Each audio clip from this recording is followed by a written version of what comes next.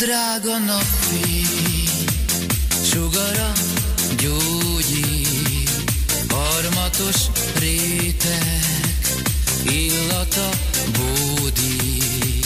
Én csak egy arcot, egy arcot látok, nem hiszem el, hogy ez nem álom volt. Ó, szól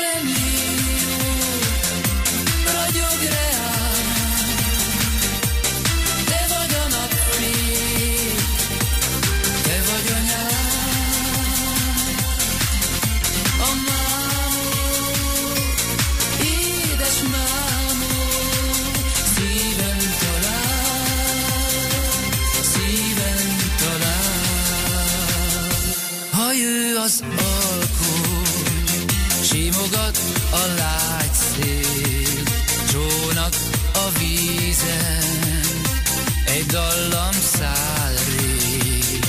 Én csak egy arcot, egy arcot látok, nem hiszem el, hogy ez nem álom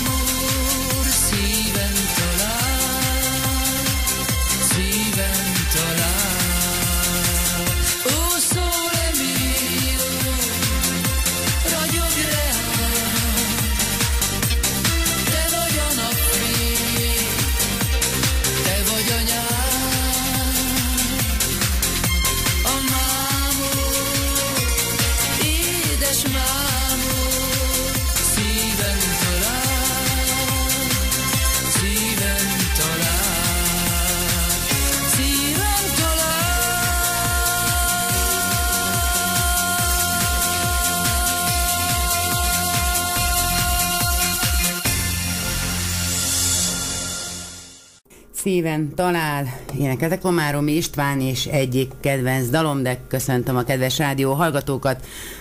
A mikrofonnál Oláné Bálint Zsuzsát hallják, és köszönjük szépen Tibornak a szép műsorát, és akkor folytatjuk is tovább. 21 óráig leszek veletek, és 19 óra 10, 15 óra, 15 tájba Komárom István érkezik hozzánk, de folytatom is tovább a dalaival, a másik kedvenc dalommal az üzenet.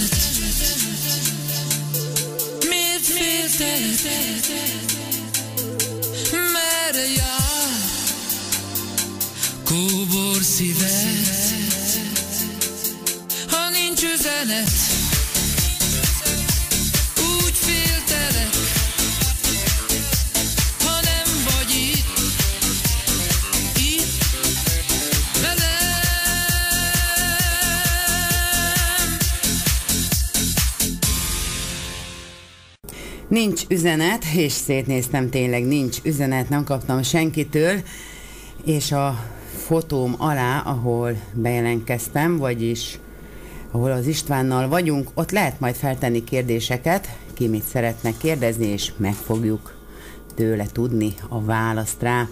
És most a következő dal pedig az ötödik albumról van, az a címe, hogy Suli dal.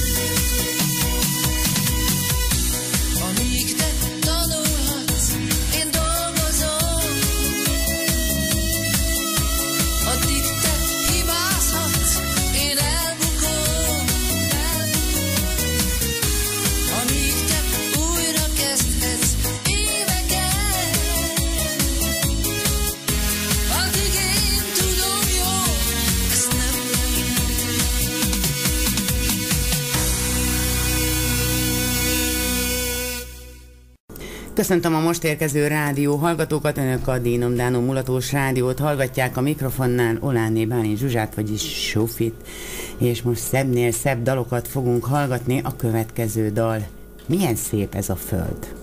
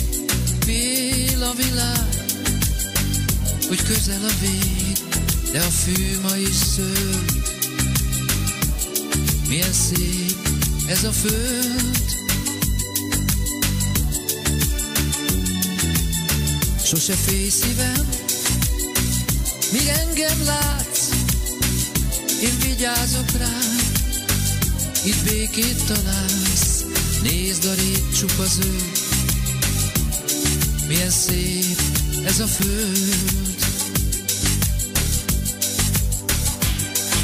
A szivárványt az égre, ha együtt festjük fel, a föld ezernyi fénye, nem halványulhat el.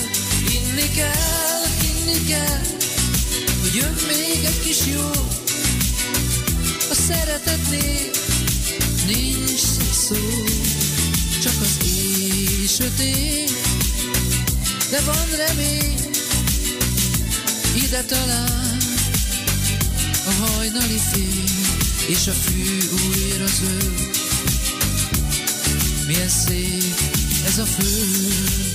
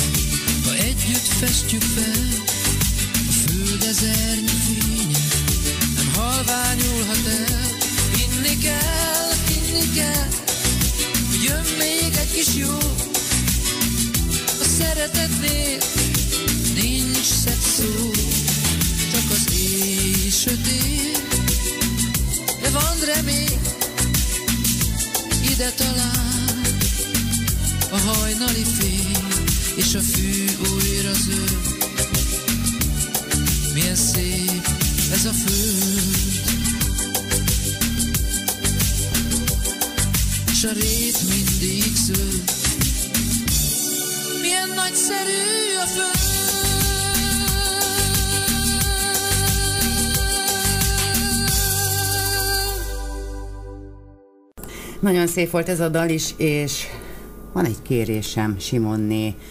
Zsuzsa, vagyis a Boszi kérte Komárom Istvántól nincs szavunk, és küldi sok szeretettel mindenkinek. Köszönjük szépen Boszinak ezt a dalt, és a dal után itt is lesz velünk Komárom István.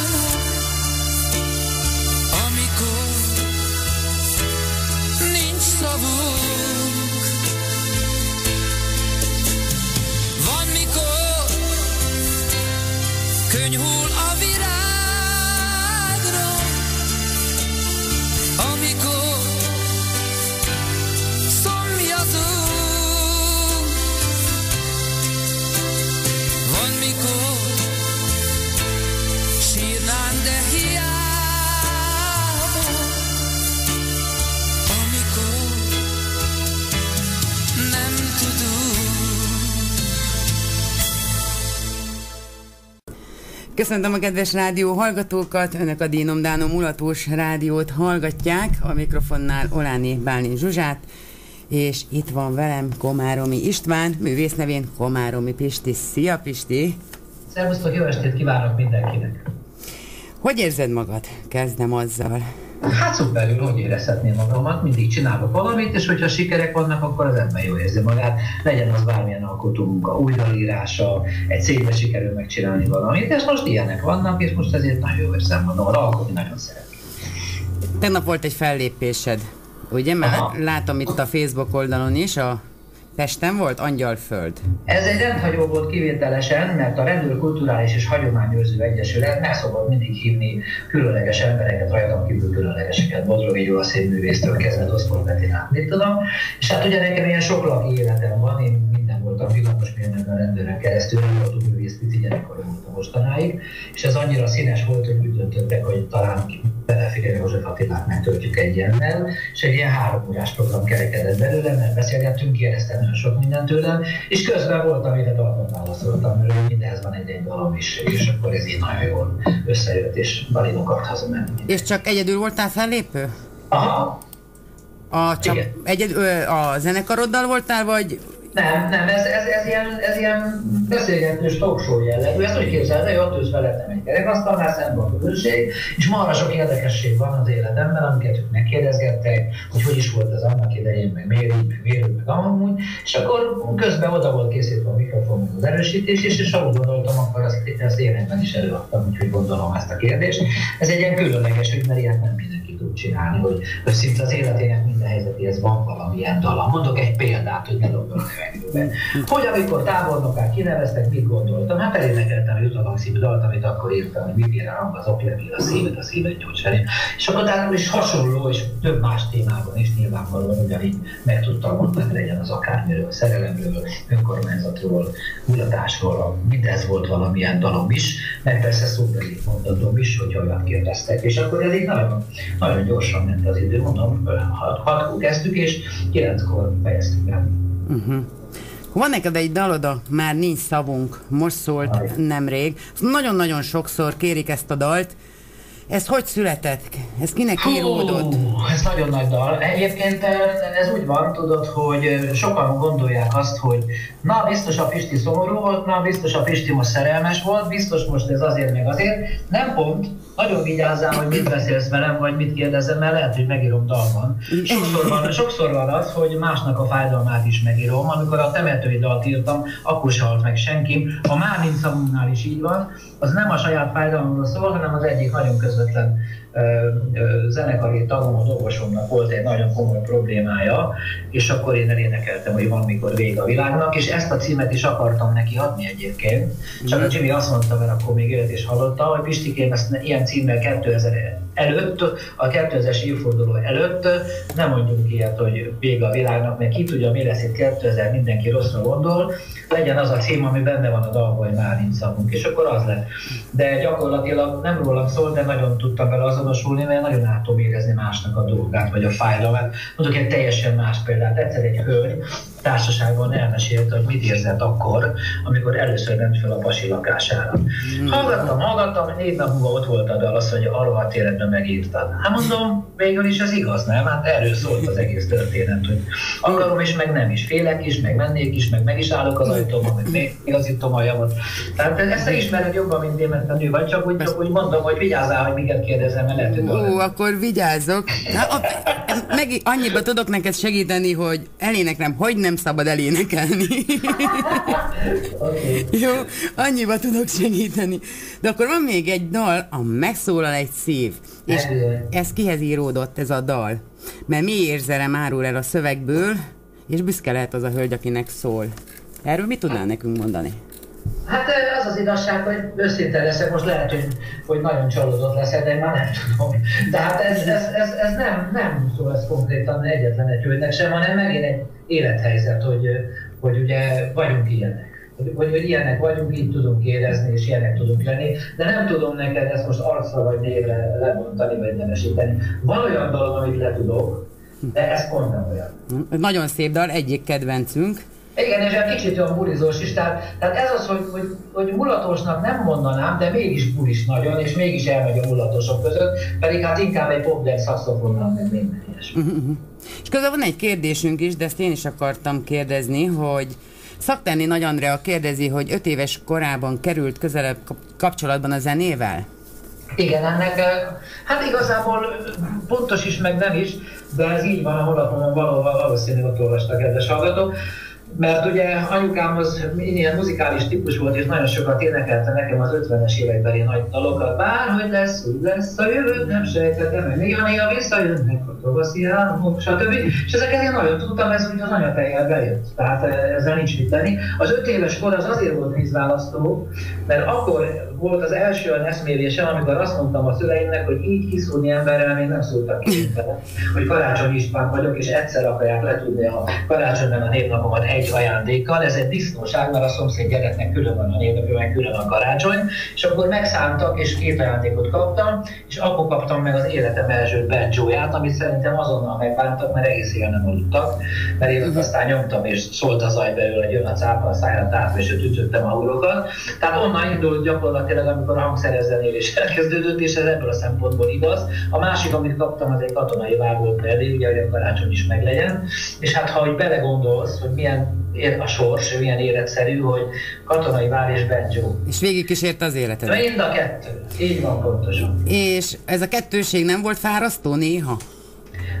Abból a szempontból érdekes volt, hogy én, hogy bennem megvan ez a két lakosság, hogy tudok nagyon kemény lenni, határozott, és nagy hadseregeket vezettem, tényleg, ha lehet ezt mondani, egy több ezer embert is, meg nagy költségvetésű szervet, de, de ugyanakkor meg brutálisan érzékeny és lirikus voltam mindig, és vannak olyan dalaim, több is, ami, ami ezt a kettősséget jellemzi. Például itt van a mostani nagy nót, ami mindenki el van álljóba, és még nincs kiadva a széden, az ötösön valami majd lesz. Ez a dönteni muszáj című dal, amikor kellett életről, halálról dönteni egy bizonyos helyzetben egy emberrel kapcsolatban, és ugye a, a másik munkám kapcsán, és a stúdióból rohantunk ki, és ott kellett döntenem egy zenélés felvétel után közben, ahol el volt barikátozva egy fegyveres ember, aki lövöldözött a tömegre, és le kellett lövetnem, úgyhogy előtte szerelmes dalt énekeltünk Véga a stúdióba föl.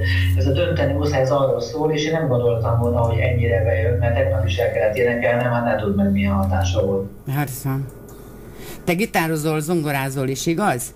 Igen, ez a kettő, alapvetően a de, de, de én már láttalak dobolni is. E, hát igen, beszálltam, de nem tudok egyébként. Ez, akkor, akkor tudtam hirtelen, nem tudom, hogy mi történt. Tehát ez csak úgy bennem van a, egy kicsit ez a vér, úgy látszik. De én nem vettem észre, hogy nem tudnál. Igen, én sem. jó. De az a jó a közösség sem. Rahimul beültem tényleg gondolni, de hát valami kis ütemérzék azért van, de meg ő ragad az ember a környezetéből, de, de, de gitáron, gitáron úgy játszok, és ezt jó szándékkal mondom, nem, nem úgy bor, mint a cigányok a hegedűn. Tehát bármit eldudolsz, elgitározom. Olyan nincs, amit te nem tudok elgitározni, hogy eldudolják. Tehát ez ténykérdés az olyan szintre ment. Ennek az az oka, hogy amikor ilyen tinédzser voltam, és villamosipari technikumban jártam, akkor a suli zenekarban olyan dalokat játszottunk, Led Zeppelin, Uriah Deep Purple, Black Sabbath és ilyeneket, és akkor ezeket nem nagyon lehetett ezeket a CD-ket kapni, föl kellett venni magnóra a Szabad Európából, meg innen onnan, és utána úgy tanultuk meg a zenekarra, hogy föltettük magnón, és akkor hallgattuk, és lehajlóztuk, vagy leszettük a akkordokat, meg a hangokat, meg a ilyeneket, és ez alatt a néhány év alatt, ha lehet mondani, és egy fogékony életkorodban, a tínédzser korban napi 8 órán gitároztam, és gyakorlatilag hangról hangra meg volt, és ez annyira megvan, hogy most is volt már, hogy eljátszottam a Leszepelinnek a Stairway-től Heavenly dobozgitár, és mindenki így nézett, hogy ez hogy, hogy még így tudom. Hát azért, tehát olyan, olyan gyakorlatra tettem akkor szert ebben a, a hallás után itt lejátszunk valamit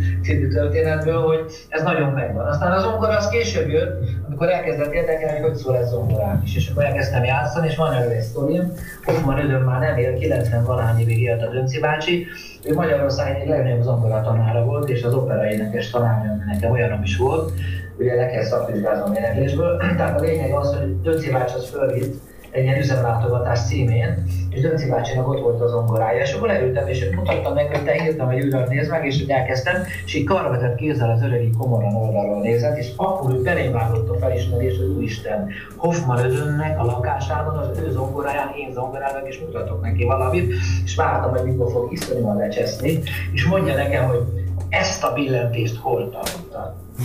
Hát mondom, Dönci bácsi úgy félve tudod, mondom, hogy, hogy, hogy, hogy magamtól egy izé, mert jó, azt mondja, akkor erre rájöttél, hogy ezt így kell.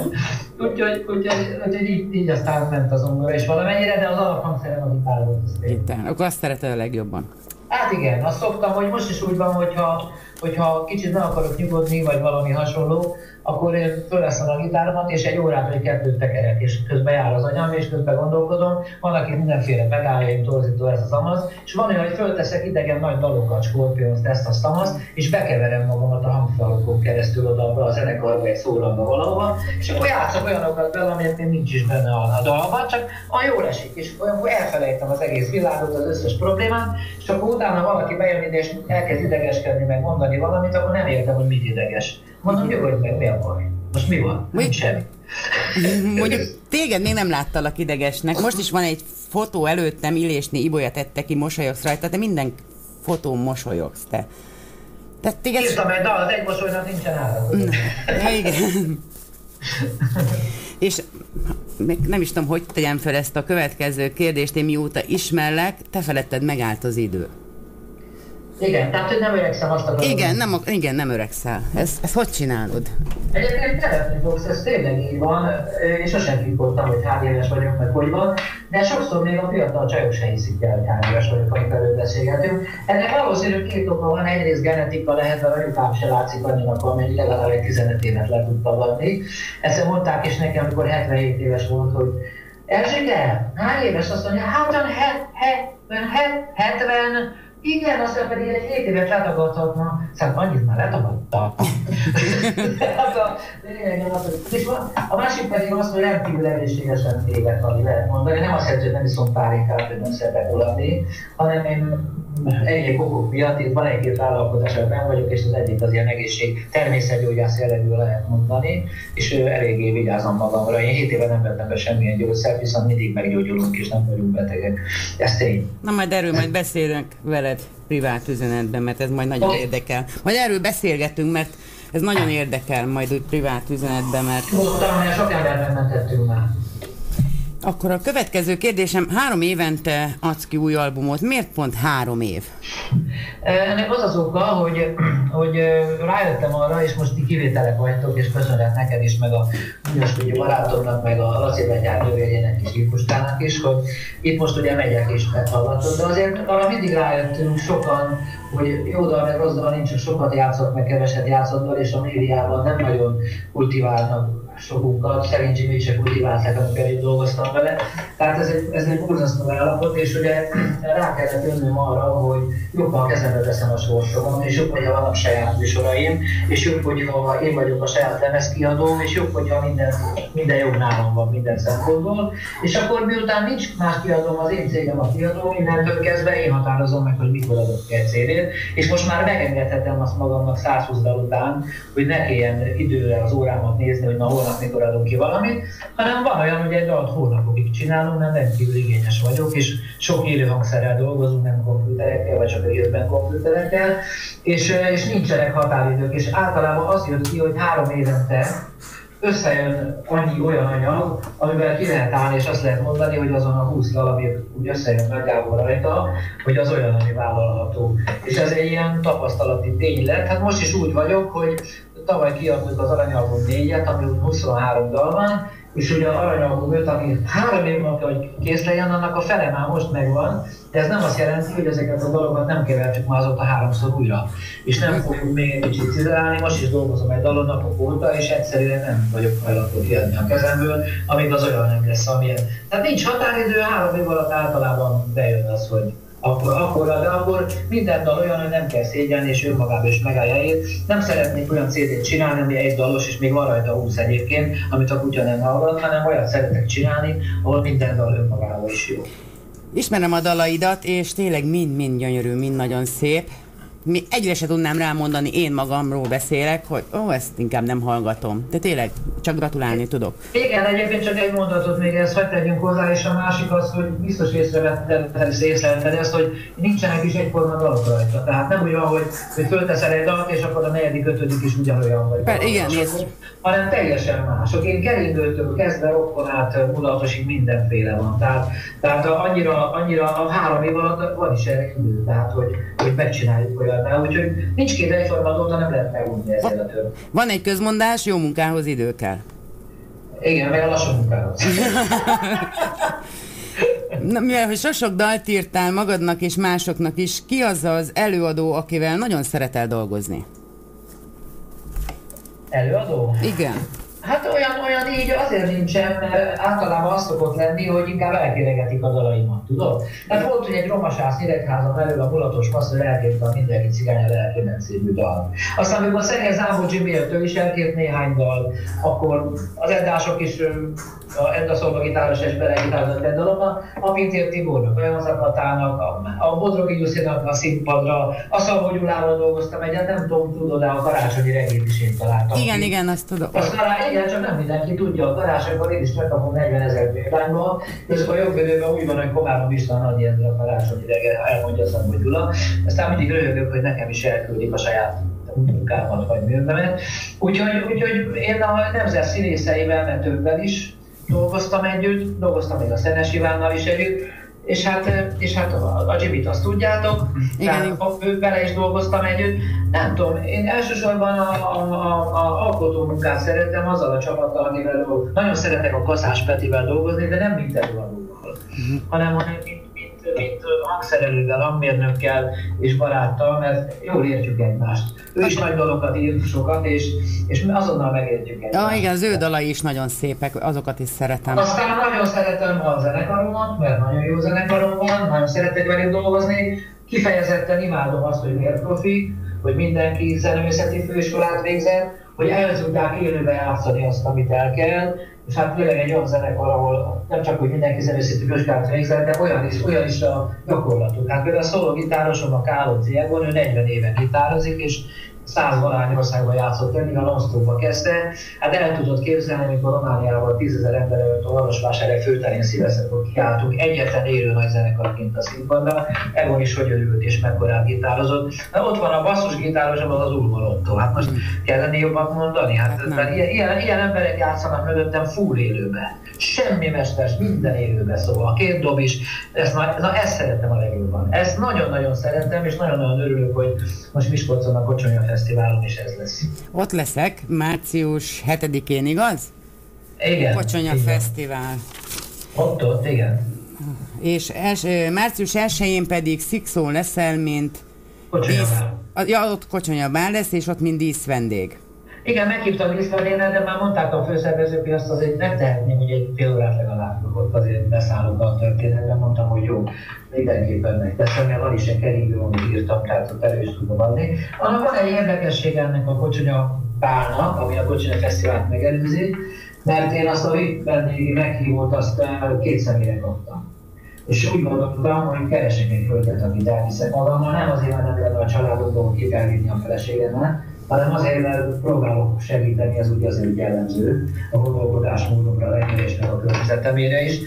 Tehát egy olyan munkanélküli hölgyet keresünk, még mind a mai napig, akinek van szakmája ugyan, de nem tudott elhelyezkedni, és, és szívesen eljönne a bárba, és tud válaszolni 13 plusz egy kérdésre a munkásságommal kapcsolatban. Ezt kitettük a netre, fönn van a honlapomon ezek a kérdések, benn van a, a, a megfelelő helyen, ahol elbírják, nem éreztek az emberitából, hanem szerkesztőség, és hogyha aki nyer hölgy, az lesz az oldalon a évben még a vállal. A Békes újságíró meg is kérdezte egyébként, hogy, hogy hogy gondoltam én ezt, vagy miért van jó a hölgy. De nem mondom, szerintem azt mondja, hogy egy csomó nagy ember lesz, és hát ha valaki elszígyeli magát, és adnak neki munkát. Különben itt láttam a kérdéseket, az ötödikre nem tudnák választ adni. Melyik az? Melyik szerzeményébe gitározik az Edda szóló gitárosa? Igen, most ha megmondom itt a verseny alatt, akkor nagy baj van. Aha akkor nagy baj van, de, de hogyha interjún kívül leszünk, akkor neked megmondom, és még abba is segíthetsz akkor, hogy betehetjük azt a dalt, hogy menjen, mert egy nagyon lendületes, nagyon rokkos mondta. Jó, köszönöm szépen. Gondolkodjunk el rajta. Jó. Előbb a Janza Katát említetted, az egyik dalát az USA-ba írtad, mikor az FBI-nál voltál. Igen. Melyik dal volt ez? Idegenben a nagyvilágban vajon mert ez az a hív című dal volt, amit ő kapott meg annak idején, azóta már felénekeltem én is. És az a, az a legérdekesebb egyébként gondoltam, hogy van egy cégem, cégtársam benne, aki erdélyi származású nagyvállalatban járt egyetemre, amikor meghallottak ezt a dalt, földbe gyökerezett a lába, és akkor jöttem rá, hogy ez az erdélyeket is milyen érinti ez a idegenben a nagyvilágon vajon merre jársz. Nem csak engem ott Amerikában az. Aha. Akkor még Erdélyről előbb akartam mondani, csak nem akartam a szabadba vágni, hogy Erdélyben az összes CD-d megjelent, azt olvastam. Ah, igen. Igen, sőt, most valamelyik nap hívtak föl, hogy kellene még a, a, a, a, a most kiadásra kerülő mulatos CD-re, és hát meglepni nem tudnak ilyen kérdésekkel, mert ugye én nem vagyok tipikus mulató zenész, de megcsinálok olyan dolgokat, ami, ami mulatos jellegű, és ott telerakjuk hangszerekkel. A más nem mondja, te is ismered a Nedali Tóth csinálta a Nemeszet Rencsétől című szlovák népdal. Imádom azt a dalt. Ami, aminek én írtam a magyar szövegét, ugye, és hát hogy meg a hangszerem, és az élő rockzenekarral játszott. Na most nem ezt akarom persze mondani, hanem azt, hogy most Erdélyben megjelenik a következő mulatos album, tudod mi lesz rajta? A románok legnagyobb népdal a rockgitárral, úgyhogy írtam meg a magyar szövegét, az a Csínes Oka Perina, ez a Párnáska című dal. Ez egy ez tipikusan román népdal, és amikor most föl voltunk és a nagy koncerten a megzenekarral élőben játszottuk, távolra mindenkinek a szája, hogy ezt is tudjuk. Tehát meg lehet csinálni rangosan is egy mulatos musztát, nem kell feltétlenül nagyolni, ez igaz. Tehát, Nagyon. És ilyenek azt nagyon-nagyon jó az a nagyon imádom. Sőt, csak csendben mondom neked, vagy nem tudom, hogy csendben, mert te megkaptad előre egy meg nem jelenő CD következő anyagán is van egy, van egy meredek dolog. Ki voltam a nyáron Párizsban. és a kánkán megírtam magyarul. Aha. Igen, ő táncoljuk a kánkán, megvatállatok, mert tegnap azt átküldtem, azt még ebben nem hallottam. Tehát eleve a kánkának nincs szövege. Tehát, tehát mint hogy az Orbánnak sincs, és azt is felé kell de meg a Kalinkának megírtam ugye magyarul sorozat, tehát vannak ilyen dolgaim, az is hosszú megírult magyarul, tehát azért, azért vannak ilyen dolgaim, de most mondom, a erdélyeket most a ottani lemezkiadót azzal lettem meg, hogy elküldtem a romániából a magyarul a rokitára. Bevallom, neked ma egész nap a dalaidat hallott, hallgattam. Szegénykém, akkor nem lesz jó állapotban. ja, nagyon szeretem egy, de volt az ötödikeket nem ismertem. És vagy, vagy kettőt róla csak. Aha. Alapító tagja voltál az ATV felsimulatónak több évig, meg voltál más csatornán is, volt műsorod. Most jelenleg televíziózol-e valahol? Televíziózom. A Fásimulatónak úgy voltam az alapítója, hogy én ismertem az ATV elnök vezérigazgatóját, a tulajdonosát, úgy hívták akkor, hogy Cikó Gábor, nekem jó barátom volt, és tudtam, hogy fogékony a szépségversenyekre, és mondtam neki, hogy te Gábor, nem kéne valami szépségversenyt ide behozni, szóval el tudod intézni, mondom, megpróbálom. Akkor elmentem az Ádámhoz, aki akkor csinálta a szépségversenyeket, és mondtam, hogy te Ádám, nem kéne a csajokat behozni a tévébe, mert mégiscsak jobb lenne a tévé, mutogatnák őket. El tudod intézni el. És akkor a két embert összeismertettem egymással, és akkor utána már ők kitalálták közösen, hogy hogyan tovább, meg mi legyen, és akkor indult el a ősi fásimulató, ez így van, amiben én is benne voltam, meg a szépségversenyzők is. Tehát ez valóban így történt, a két embert azt én mutattam be egymásnak. Ez volt. A kérdésedre visszatérve, kettő helyen van saját média ügyem. Az egyik az az, hogy visszajött a Budapest TV, Európa TV néven, és a interneten megy, de hát majd meglátjuk, hogy meg máshol is fog. Havonta egyszer csinálom a Táncoljuk át az éjszakát Kovács Pistivel című műsor, amit élőbe veszünk föl, tehát oda kell jönni mindenkinek. Már ott tartunk, most már a ötödik adást veszem föl, hogy most már Szerbiából is jöttek meg Miskolcról, meg mindenhonnan, az Szlovákiából, tehát nagyon sok helyről jönnek, és, és csináltam egy önálló Facebook oldalt annak az egyetlen műsornak, ahol az összes fellépő, összes produkciója egyenként rajta van, tehát tudják nézni, meg tudják osztani, mert nagyon elegem volt abból, hogy állandóan tőlem kéregették a DVD-t. Fölrakjuk, ott van, oszta meg, csinálja, hogy kell. Ez az egyik. A másik pedig a RTL tulajdonában álló muzsika televízióban van egy olyan műsor, hogy Show, és gyakorlatilag én ott abban a műsorban nem csak fellépő vagyok, ezt kevesen tudják, hanem én vagyok a koproducer. Ezért olyan jó is volt, hogy titok volt, mert legalább azt hitták a producert, ott álltam a többi előadó között, és ezt én jól hallgattam, és akkor nagy derültség volt, amikor kiderült, hogy én vagyok a koproducer.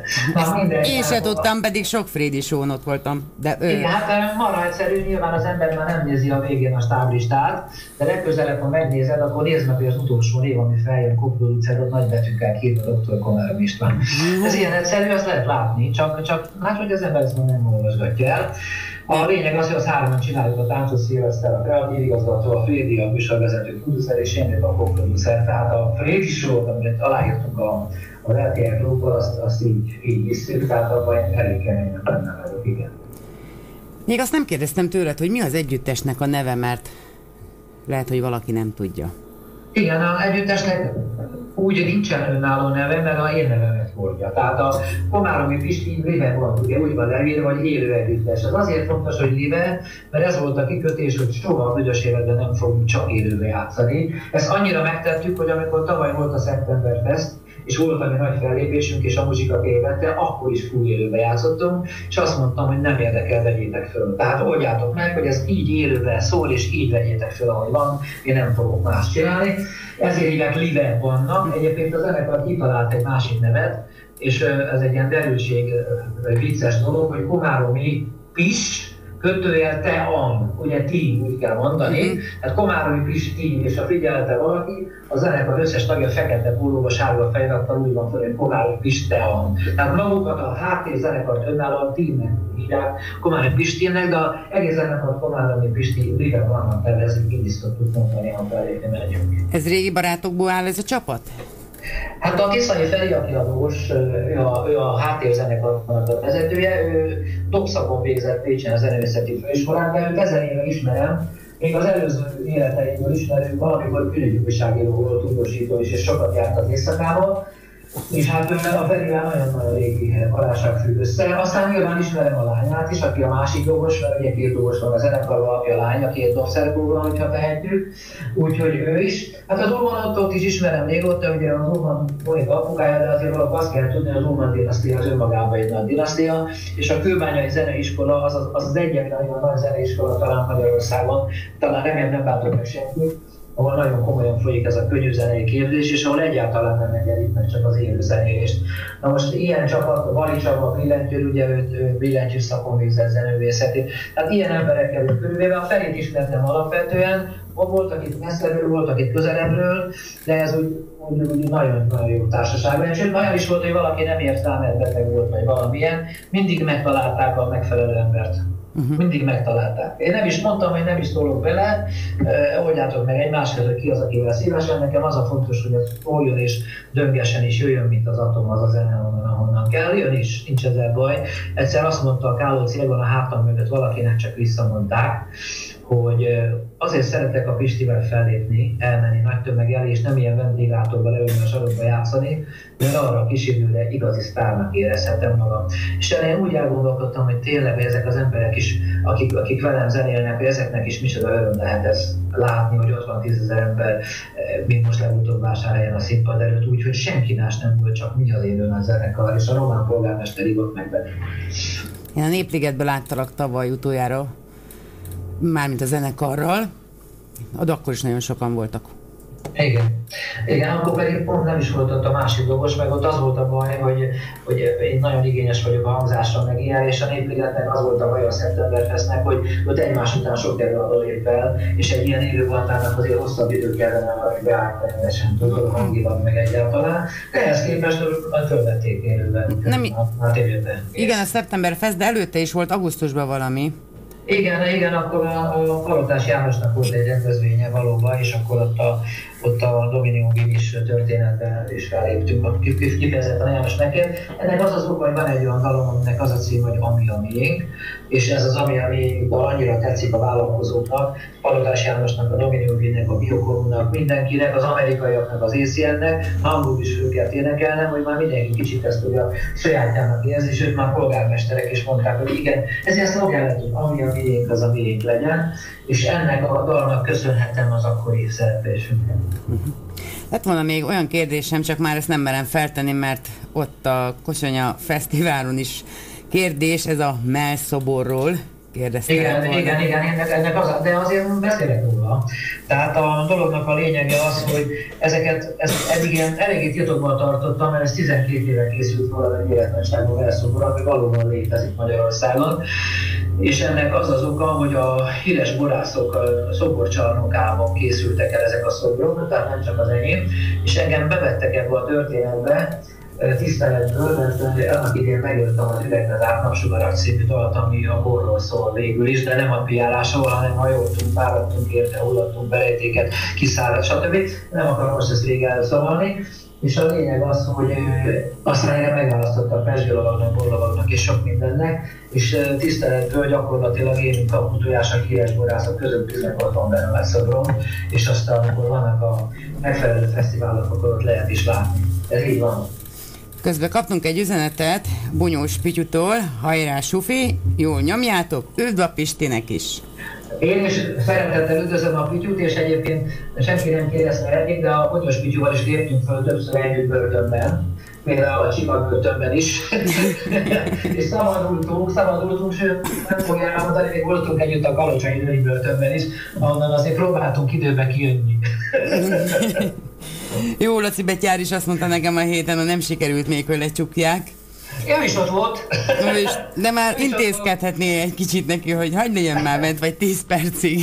Hát a betyárnak egyébként ott lenne a helye, de megmondom őszintén, hogy Laci betyárnak mellevele van nálam, mert én a lecsót nem szeretem, pedig anyukám nagyon híres szakács, és mindenki imádja a főztjét, de valamiért nem eszem meg, nem tudom, a sült paprika nagy vagy valami.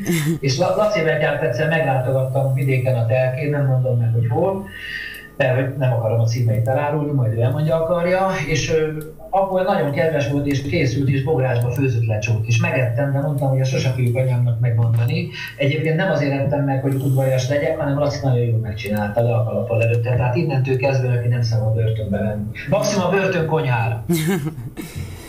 Sose voltál még fenyítve a rendőri pályádon. Gyorshajtásod se volt? Nem, nem soha. Mond, most lehetne azt mondani, hogy nagyon szabályosan éltem, azért ez nem lenne életszerű, nem derült ki. Ne, nem kaptak el. nem derült ki. Hát el, el, engem elkaptak egy párszor, most már úgy közlekedek, hogy a féket meg a gázt egyszerre nyomom. egyébként, egyébként az az igazság, hogy most a viccet félretéve azért az egy elég nagy mutatvány volt. Tíz évig az ország legyen megy a főkapitányának lenni, úgyhogy soha nem indult semmilyen eljárás ellenem. Igen. És Bors... Csak, dicsé, csak dicséretem volt. Igen. Most se, tehát... Borsodba is voltál, igaz? Itt kezdted pályádat? Hol voltam? Borsodba, Borsodba. Igen, rendőri igen, pályán. Igen, a Miskolciak egyébként mind a mai napig Miskolciak hisznek, mert én sokáig voltam Miskolcon, tehát én tíz éve dolgoztam Miskolcon, és ezért aztán én mindent tudok, hogy ott mi volt a Borsod megyében, mert a Borsod megyei főkapon dolgoztam, tehát az egész megyét jól ismerem, Miskolcot is, és ezért, ezért sokan hogy azt is gondolják, hogy én is csak most éppen Budapesten vagyok, ami azért nem igaz, mert itt születtem, ahol most lakom, de a jósorsom az Zalaegerszektől Debrecenig elég sok hely elvetett, amire akkor fájdalomban gondoltam, de azóta rájöttem, hogy sokkal jobban jártam így, mert lehet, hogy egy ilyen belvárosi ilyen budapesti felhordó valaki lettem volna, így meg, így meg megismertem a vidéki életet, és tudtam becsülni azt, hogy mi van és hogy van, és rengeteg barátom van az országban szerteszi. Én azt olvastam, hogy a barátaid nem csak a rendőri pályádról, hanem nem zenész, vegyesek. Á, mindenhonnan. Tehát tényleg a sajtótól kezdve, nem is tudom elmondani, az üzletembereken át. Tehát olyan széles kör, hogy, hogy elképesztő. Hát most olyan megszámoltuk, mert elektronikusan van nyilván tartja, 6600 kártya van a gépen. Hú. Na, Bunyós Pityu kérdez, azt, azt írja, hogy ne dörzsöld a betyárt címet, megtámadják a csajok. Jó, akkor most mondjam be, vagy nem mondjam be, ez a kérdésem a videótól, de valószínű, hogy a lecsógják, mert gondolom, hogy meg akarják a Lasszitól tudni a lecsónak a receptjét. Igen, szerintem is arról lehet szó, és még azt írja, hogy én Szabolcsi vagyok, ott nem dolgozott a Pista? Az, az a szomszéd vármegye volt, átjárni néha átjártam, tehát Szabolcsot tudom, de érdekes módon, amikor én Szabolcsban dolgoztam, az nem állandó jellegű volt, nagyon kevesen tudják, hogy én tíz évig műsorvezetője voltam a Magyarország, aztán később Kárpát-medence legerősebb települése önkormányzati virtusversenynek, és a Szabolcs megyében sokat voltunk a Falvoknál ezzel a rendezvényen, és sok polgármestert ismertem így, azóta megismertem a Szabolcs Veres Marti Szilva Pálinkától kezdve sok mindent a Nagybéla polgármester úrral együtt például. Közben még nézem, vannak-e kérdések? Csók Pisti, én inkább nem kérdezek. Írja jó, jó Laci Betyár. Ezek után nővel, akkor elárulok valamit. Fél, igaz? Van félni valója. Fél, fél. Eláruljuk a lecsó működési helyét, hogy hol kell főzni. Lehet, hogy a levegő is kell hozzá, oda kell menni. Arra a részre, hogy gyönyörű helyek vannak. Jó borok is, szép hegy, közel egy nagy víz. Még pálinka, pálinka is. Pálinka, az is volt, az is volt, minden volt az égvilága. Aranyos volt, tényleg jó volt az a lecsó, nem rendben van. Meg a Laci, Lacit azért is szeretem, mert ő ember maradt. De minden értelemben. Tehát, tehát mindig is közvetlen volt és rendes, és én nagyon szeretem. Ővel még nem találkoztam, még nem, nem tudtam vele, de remélem minél hamarabb, vagy minél elő fogok vele találkozni élőbe. Sufika, Sufika, vigyázz vele nagyon. Vigyázzak, jó, vigyázz. Nem áll jól. Meg kell nézni, hogy a bajusz igazi-e, mert múltkor a bunyós oh. azt mondta, hogy nem igazi. Hát azt csak azért mondtam, mert szereti. Hát, Akkor van olyan kérdés, hogy mi a hobbid? Van-e a kínaiaknak egy nagy mondásuk, hogy olyan munka, munkát és olyan elfoglaltságot kell választani, amit az ember szeret, és akkor soha nem kell már többet dolgozni, hiszen hobbiszerűen végzi, amit csinál. Az életem első felében, ha lehet ezt mondani, sok olyan dolgot kellett csinálni, kényszerből csináltam, mert azt mondták, hogy már pedig ezt meg kell csinálnod, mert sosem ezzel lett tisztességes ember, stb. stb. Már eljutottam odáig, hogy tehetem, amit én szeretnék, tehát illetve foglalkozhatom azzal, amivel én szeretnék, és gyakorlatilag én most azzal foglalkozom. Az emberekkel foglalkozom, akár a gyógyításra gondolok, akár a zenére gondolok, a életemben, a testre, akár azokra a dolgokra, mind amit én most egyszerre csinálok, és itt a családom is egyfolytában csodálkozik, hogy hogy bírok 24 órát meg egy éjszakát egy folyamatosan dolgozni, de hidd hogy nem fáradok el, mert ami jó, azt az ember szívesen csinálja. Nekem emellett úgy különösebben nincs más hobbi, én tudok úszni, biciklizni, meg mondhatnám, hogy nem tudom, mit csinálok, de ez nem lenne igaz. Tehát én folyamatosan azzal foglalkozom, amit egyébként is tudtok. Uh-huh. És ez a hobbi. Uh-huh. Közben megint van egy írásunk Bunyós Pityutól, Nekem azt mondta a betyár, hogy a Pista nem fizetett nála, és haragszik egy picit rá.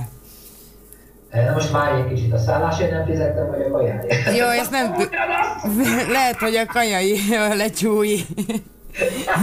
Hát, mert arra akkor mindig a betyárnál szoktam aludni, tudod, és, az, és lehet, hogy azt, de azt mondta, hogy ingyen aludhatok, tehát ez nem akkor a probléma. és a Jólaszi betyár is írt, hogy köztünk jó értelemben pandúr betyárság van.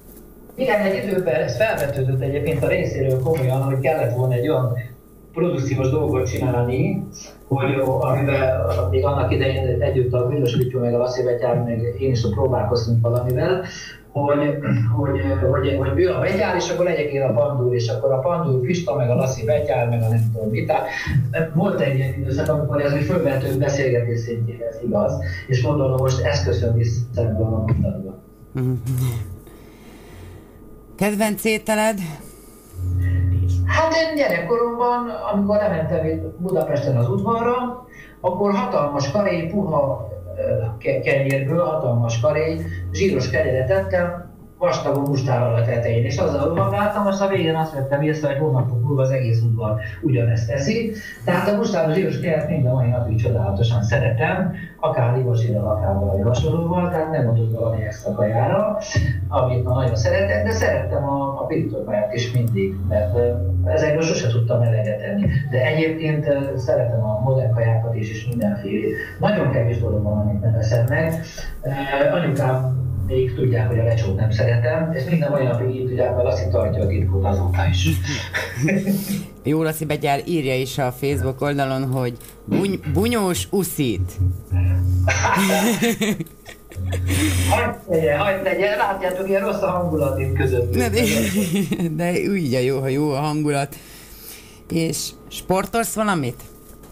Igen, mindenki azt hiszi, hogy sportolok egyébként az alkatom miatt. Most ez én, én a csörcsöri elveket vallom. A szívval a viszkit nem szeretem annyira a pesgőt inkább, de mondjuk akkor a, a, a pesgő az egy életforma. De az, ami annyiból igaz a dolog, hogy én nagyon sokáig visszajozgattam, meg, meg egy időben birkoztam, még fiatalabb koromban meg fociztam is ilyen ifi csapatban, és ez ugye az alkatomon meglátszik.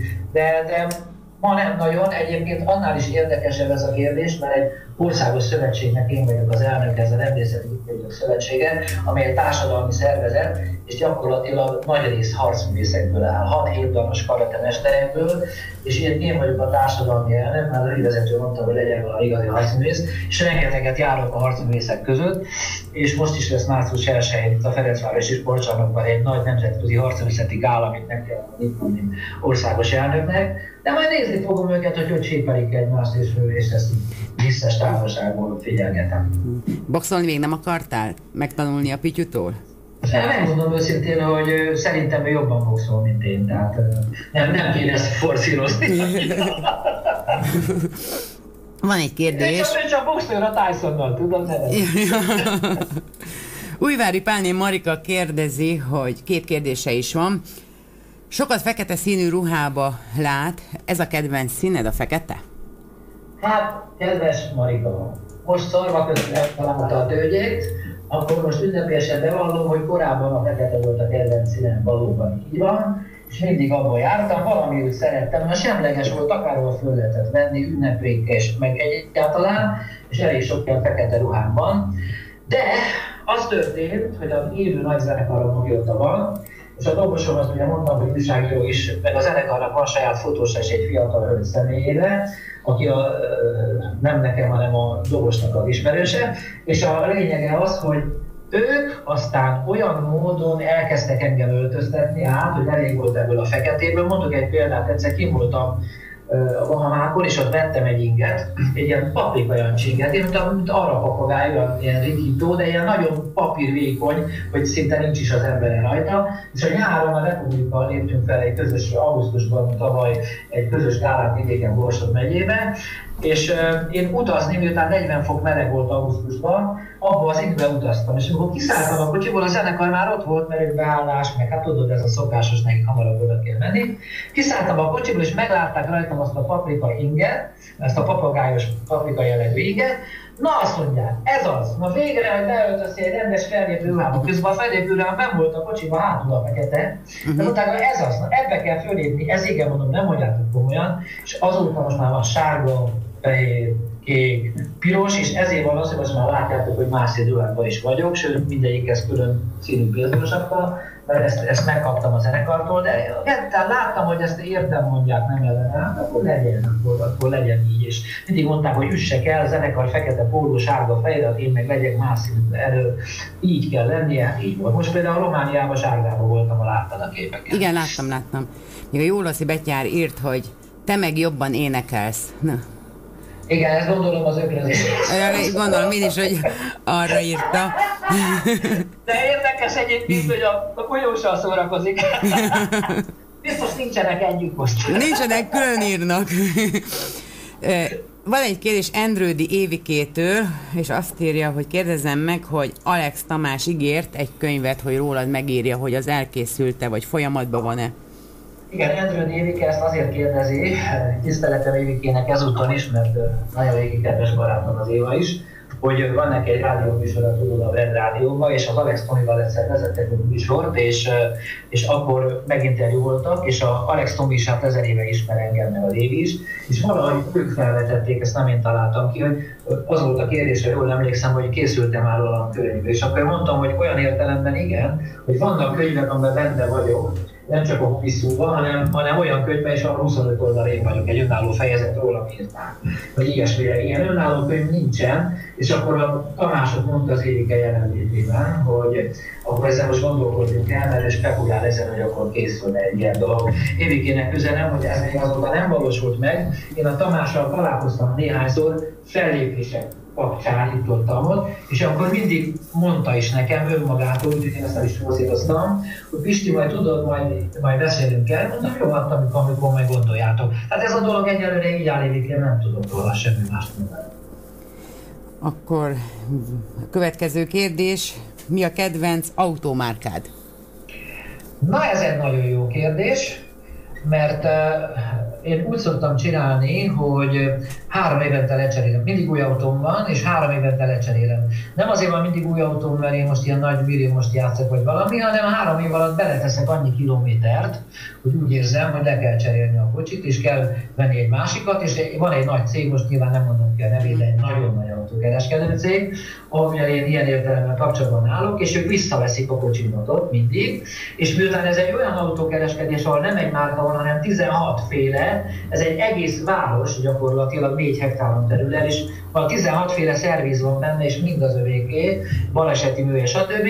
Ezért ott válogatni tudok. Ezért nincs két egyforma kocsim, három évente, mint egy cd és mindig másik kocsival járok, amit éppen akkor kinézek, és ez nem feltétlenül olyan autó, ami, ami Audi vagy mit tudom, ez a szokásos márkák. Most például egy olyan Skodával járok, ami az év autója volt 2012-ben az Egyesült Államokban, New Yorkban választották meg, az egész világra az év autójának egy kis autóról van egyébként szó, ez a Volkswagen appnak a, a Skoda változata, a Citigo, ami benzinből 4 liter fogyaszt és 170 nem megy egyébként, és a kicsi méretei ellenére brutálisan kényelmes bennül, és nagyon jó lehet benne pakolni, és nekem miután megláttam ezt az autós életbe, és legközelebb cserélni kellett autót, akkor mondtam a fiúknak, hogy nekem ilyen kéne, mondták, hogy még nincs gyerekek, hát ez, ez most lett a világi autója, megelőzött minden, ezt majd valahogy szerzünk egyet, és akkor beszerezték, és ajándékban meglepetésként úgy kaptam, hogy ott a hangjegyek voltak az autónak az oldalára rajzolva, ez mind a mai napig így van, most ezzel a kocsival járok, most ez másfél éves lesz az az autó, és tényleg, tényleg talált az a kocsi. Nem feltűnő, nem hivalkodó annyira, egy nagyon aranyos kis málosinak tűnő autó, de az autó akár alázom a nagy kocsikat sorba. Úgyhogy én mindig azt nézem, hogy takarékos legyek. Tehát a zenekarom tagjaival is sokszor vitatkozunk azon jó értelemben, hogy a benzinpénz, és akkor mennyi. Még szoktam nekik mondani, hogy gyerekek, én nem vagyok olyan gazdag, mint ti, hogy Mercivel, meg Nissannal, meg Hondával járjak. Nekem sajnos kisfogyasztású kocsi kell, mert én csóró vagyok. Tehát az a mérnöki végzettségem eredménye, hogy mindent kiszámolok, és mérnöki módon próbálok érvényesíteni, és hatékonyan használni kocsikat ilyen értelemben. Olyan kocsi van, ami az világ egyik legjobb autója volt, nem nagy autó, kicsi, de nagyon szeretem. Uh-huh. Ja, azt írja Bunyós Pityu, hogy három évesen cseréled, akkor nem mindig új kocsid van. De mindig, hát, ez egy szójáték, igen. igen. Igen, de úgy van, hogy három éves lesz az én autóm, azt leadom, és akkor kapok egy újat, és a három éves kocsi árát beszámítják az újba, és a különbözetet kell kifizetnem. Uh-huh. Tehát így van úgy. Még egy kérdés. Bende Melinda kérdezi, mi a kedvenc nótád? Magyar nótám, vagy milyen? Azt nem tudom, hogy, hogy azt hogy gondolta. Mondjuk nekem, nekem lett volna olyan kérdésem, melyik a kedvenc dalod a sajátaidból? Világos, a, a nótára én tudok válaszolni, amikor már nagyon fölöntök a galatra, a szélvízen elő szokott fordulni a barátaimnál, és ott a helyi cigányzenekarral nagyon viszonyban vagyok, akkor ott élőzünk egyet mindig a kocsmába, és akkor Sárdi János szoktam énekelgetni, például a Rózsa Levél és akkor azt ott ülünk, mint a farkasok, azt elég jól lehet tudom énekelni állítólag. Tehát azt szeretem, hogy a néhányan visszajönnek a tavaszi álmokat is. Tehát vannak kedves nótáim, igen, én szeretem a szép notákat, nincs ezzel semmi baj. A saját dalaimban azért nem tudok választani, mert minden dalnak más a Más az üzenete, a hangulata és a mondani valója. A temetői dal, amit már még 140 ezeret belájkoltam a, a Youtube-on, ugye az, az is egy gyönyörű dal, de hát mégsem mondhatom, hogy az a kedvenc dalom. Mindig az a kedvenc, amit most csinálok, és akkor most elárultam neked a nagy titkot, hogy egy pillanatban is készül egy nagyon szép dal, lesz a cím, hogy legyen erő. Most, most azt hiszem, hogy ez lesz a és ez, ez lesz, tehát mindig, mindig az, ami... És ezt mikor fogjuk hallani? Hát azt csak a jó Isten tudja, mert gyakorlatilag úgy nagyjából megvan koncepcionálisan, meg már a hangszerelése készül, de, de például az orosz kalinkát is, amikor megírtam magyarul, és már ötször fölvettük, még hatodszor is levetettem, és még heteszer sem tetszett, és már eltelt két hónap, és még mindig nem tetszett, mert azt mondtam, hogy ez a dal még mindig nem indul meg, és még nem olyan, ahogy szeretném. Tehát ez egy, ez egy alkotó folyamat, és van még 2016, amikor a három év lejár. Kanadából a Marica kérdezte, hogy 2009-ig tudta követni az életutadat a netten. Mi történt azóta? Van-e valami nagyobb, ami még nem került oda kiírásra, és meg szeretnéd osztani? 2009-ig? Húha, igazából nem is tudom, ez akkor azt jelenti, hogy 5 évvel ezelőtti állapotig. Mi? Igen. Hát, hogyha most úgy nézegetjük, akkor ugye, és elkezdünk visszafele számolni, ugye tavaly jött az Aranyalbum 4, a 23 dallal, akkor 2010-ben, 2009 után tehát kettő nagy albumból kimaradt, akkor 46 dalból kimaradt. Ezt lehet mondani, mert mind a kettő 23 óta van. Tehát 46 dalból maradt ki pontosan, hogyha ezt jól, jól veszem. A többi dolgot azt azért nagyjából tudhatja, mert, mert úgy rajta van a, rajta van a, a honlapomon megnyitott. Ami mondom, nagyon nagy változás, nagyon nagy változás az az élő nagy zenekar. Ez nem jelenti azt, hogy nem megyek el tűzében kell énekelni, vagy nem csinálok ilyet, hogy ne lennének versenytáncosaim, mert táncosokat sem úgy, hogy két tisztán jött ugrál, hanem van komoly versenytáncos csapat, akik páros táncot táncolnak, nagyon elegánsan kell. Ez is létezik, csak most az volt a kérdés, mit szeretek jobban, és ez alatt az idő alatt, 2009 óta ez a legnagyobb változás, mert utoljára élő nagy zenekar előtt akkor léptem föl, mikor a Jimmy élet és az ő zenekarával, akkor az ő zenekarával csináltuk a dalaimat is egyébként, és akkor én voltam mindig a koncerteken a sztár és akkor élőztünk. És amikor meghalt a Jimmy, akkor a zenekarban mondta is a Pálmai Zoli a dobos, hogy nem menjünk szét, maradjunk együtt és csináljuk. És mondtam, hogy nem tudom ezt meg, nem, nem volt jó hangulatom se, és akkor ment ez a fél évet megint egy darabig, és akkor a barátom, aki a szeptemberhez tulajdonos a Gágával, és igazi jazzista, jazz szereti, mondta, hogy te Pisti írjon a. De nem szabad ezt. Tehát miért nem? Ez az mutatna itt a színvonalon, könnyű ezt mondani Gábor, de tudod milyen nehéz ez pénzügyileg? Hát azért az nem ugyanaz, hát érted Zsuzsi, hát anyagilag sem megszerezni annak a pénzét, teljesen más egy élő zenekar. Azt akkor elkezdett egy orosz ember is cseszegetni, az Alcatraz nevezetű budapesti becsület sülyeztőbe élő zenekarok játszogattak, és én megismerkedtem a Szergei Izmajóval annak idején, és ő is azt mondta, hogy lejöhetsz ide énekelni, de csak élő zenekarral. Ez volt a második, akkor jött a harmadik, a dobosom a Tiszai Feri, aki azt mondta, hogy hát Pisti most már ide lenne élőben zenekar és már úgy megmondta, hogy ahogy ezt mindenki ezzel cseszeget, hogy azt mondtam a Ferének, hogy figyelj, rendben van, akkor tessék, akkor itt az élő zenekar szedd össze. Tessék, szedd össze. És azt csinálta, hogy elment a Kőbenyei zenésúliba, és összeszedett egy csomó helyes, tehetséges fiatal gyereket, akik nagyon jól játszottak, csak az alkatrazba levonultunk, és csináltunk egy nagy élő bulit a orosz embernek a legnagyobb örömére. És a nagy öregek, a nagy zenészek, azok ott voltak, és ott ültek oldal. Egyszer csak oda jött hozzám az egyik, és azt mondta, te Pisti, és mi lenne, ha mi játszanánk inkább majd ezután mögötted? Hát mondtam nekik, hogy ezt most a kicsiknek ti fogjátok megmondani, én biztos, hogy nem. Tehát, és akkor így szépen lassan ebbe belenőttünk. Ez, ez alatt az idő alatt ment, ahogy a kérdező kérdezte, a 2009 környéki időtől. Ez, ez nagy újság, hogyha így gondoljuk, hogy visszatértem ahhoz, hogy szeretem az élő zenekart. Ez igaz. Csak mondom, nehéz ügy, mert ezzel nem lehet annyi felépést csinálni, tehát van a többi is. Háromféleképp szoktam felépni. Vagy egyedül félplévekbe, vagy a táncosokkal a nagyobb ügy kell, vagy ha meg nagyon nagy, akkor meg ott az élőzenekar. És a legjobban az élőzenekar szerintem, ez az igazság. A tiszai a dobos, a keresztnevét nem tudom, neki a, lány, neki a lánya a Timi, igaz? A, a Timi a fotósunk, a Vivi. Vivi, Tiszai ja. Viviennek hívják a lányát. Ja, Igen. ja, akkor rosszul tudtam elnézést. Nem, van Timi is, az, az, az meg a fotós, igen. Hát van itt látod, annyi összekeveri az ember. Tiszai Ferenc a dobos, és a lánya a Tiszai Vivien. Egyébként a Tiszai Vivien egy, egy, egy fiatal hölgy aránylag, de ha látnád, hogy, hogy dolgozik. Láttam, láttam. Tehát a brutális. Tehát, tehát, és, és nekik van saját zenekaruk egyébként a fiatalokkal ilyen rockbandájuk, amely járnak össze-vissza fellépni. Csak amikor van egy ekkora buli, akkor ez a két dobos történet, ez egyszer megcsináltuk, Nagyvárad mellett, hogy három dobossal mentünk, két lány. Ú, Igaz, hogy kettő óráig tartott a beállás, mert minden szinten a mikrofon kellett külön fölragasztani, de azt látnod kellett volna. hát tátott szájjal néztem őket, mikor ketten doboltak, elárulom.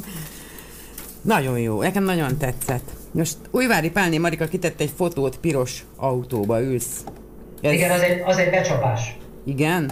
Az egy becsapás, mert az én autóm fehér, és a piros autó azért van fönn, mert a, a nem mondhatom ki című nagy autós kereskedésnél, ugye, tehát a Dunaurtó ZRT-nél, ugye, ö, úgy van, hogy hogy már ott voltam, akkor ugye fölírtuk a aljára a, a cégnek a nevét is. Ez egy pici kis kedvezményt azért jelent nekem az árba, ezt ne valami félpiasan, de kifizetem, tehát nem úgy van, hogy az övék az autó, én megveszem mindig az enyém, csak valami kedvezményt kapok, és mielőtt megrendelésre került a én autóm, előtte ben volt egy ilyen piros mintadarab, az csak minta volt, és azzal lefotózgattak, és utána ezt ők a linkben meg ide-oda föltették ezt a képen, tehát az, az a mintája volt. Na hasonló kocsi van, csak hófehérben és hangjegyek vannak az oldalán, és fekete üveggel. Igen. Na, az nagyon szép lehet.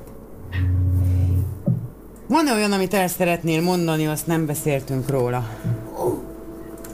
Hát azt szeretném még elmondani csak, hogy nagyon sok sikert kívánok nektek a rádióhoz, legyetek minél hallgatottabbak, játszátok azt, amit kell, amit kitűztetek az ászlóra, hogy, hogy a magyar előadók és a, az a műfaj, amit méltatlanul háttérben van szorítva, az működjön minél jobban.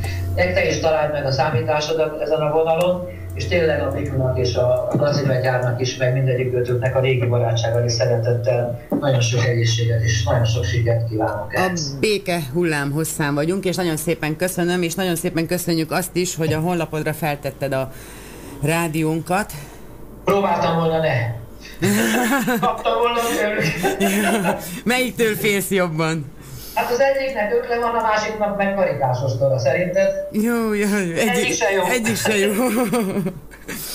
Megnézem, hogy van-e még netán kérdés, hogy nem láttam, mert nagyon, nagyon sokan vagyunk fönt, nagyon sokan hallgatták a beszélgetést, aminek nagyon-nagyon örülök.